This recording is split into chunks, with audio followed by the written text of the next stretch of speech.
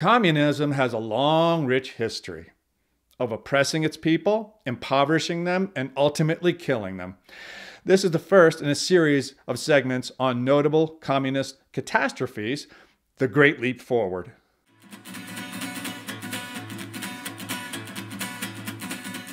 China in 1949. After an on and off 20 year civil war, the Chinese Communist Party emerges victorious as the nationalists retreat to Taiwan.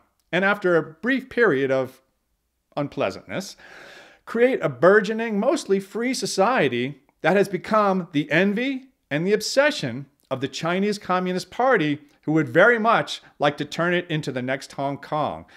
But back to 1949, oh, happy day! The communists now have an open field to implement their utopian vision and usher in an unprecedented period of happiness and prosperity for the Chinese people. There's a brief honeymoon period between China and the USSR and dreams of a Soviet Sino alliance, but they do not last long as the new Soviet premier, Nikita Khrushchev, has the audacity to denounce the genocide of his predecessor, Stalin. You see, the premier of the Chinese party, Mao Zedong, views Stalin as well, basically a nice guy with good intentions. Where have I heard that before? Anyway, this little difference of opinion creates a rift between the two future communist utopias. China decides to break from the Soviet Union model and create its own communist ideal. Now, Mao's first initiative under this new model is dubbed the Great Leap Forward. Who would have thought that anyone could come up with a plan even worse than the Soviets? Anyway, step number one in realizing the Chinese communist ideal is, of course, take everything. The Korean War slows things down a bit, but by 1955, the confiscation of private property is well underway, and the hit parade of stupid programs really gets moving. But, but first, it's important in any totalitarian regime to crush dissent. Mao gives a speech where he says, among other things, let 100 flowers bloom. Let 100 schools of thought contend. People are thrilled. They start sharing their contending thoughts on Mao's plans, both good and bad, in an effort to participate in the creation of utopia. Mao is also thrilled. He now knows who his enemies are. Hundreds of thousands are re educated, which means for many of them, learning what it means not to be alive. On to the next step at this time in China, many live in the countryside and work on small, basically family farms that produce food and sell it at market. Well, no more of that. All private property is effectively abolished, from land and produce down to homes and tools. Every rural farmer in China is forced into communes, and the fruits of their labor are sent directly to the cities or to Moscow in exchange for factory equipment. Now, Mao has set impossibly high production quotas for rural farming. But since the penalty for missing your quotas is death, everyone reports that they are meeting their quotas even as food production falls further and further behind.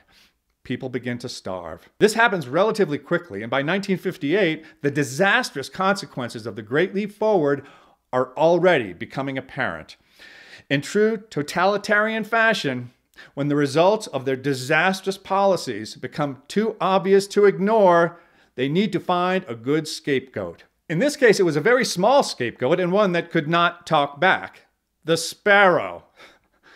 Mao's theory was that since sparrows eat food, they all need to be killed so people could have more food. It's almost like listening to the theories of a small child.